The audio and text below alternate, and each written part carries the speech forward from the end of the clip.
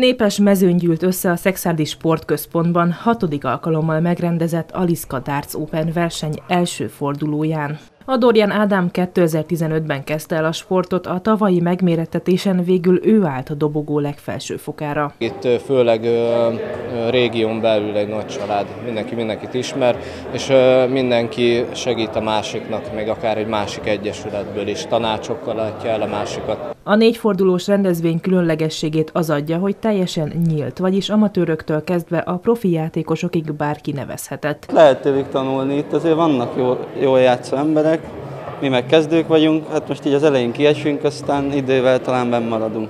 A megmérettetésen hat fős csoportokban mérték összetudásukat a résztvevők. Nagy Sándor szervező elmondta, hogy ezzel többek között a sportot szeretnék népszerűsíteni. Egy liga verseny, egy nemzeti bajnokság, csak akinek versenyengedélye van, olyanok tudnak részt venni, viszont mi szeretnénk népszerűsíteni, és a dárcot és pontosan olyanok, akik csak kettelésből eljönnének, játszanának, de lehet, hogy később kedvet kapnak hozzá, és akkor versenyeken is úgy gondolják, hogy majd, hogy eléggé felkészülnek, el tudnak jönni, esetleg pedig a szakosztályunk létszámát is tudjuk ezzel bővíteni. Az elnök hozzátette, hogy az évek alatt egyre közkedveltebb lett Szexárdon a darts, ezt az is jól mutatja, hogy a versenyen ezúttal már 48-an próbáltak szerencsét.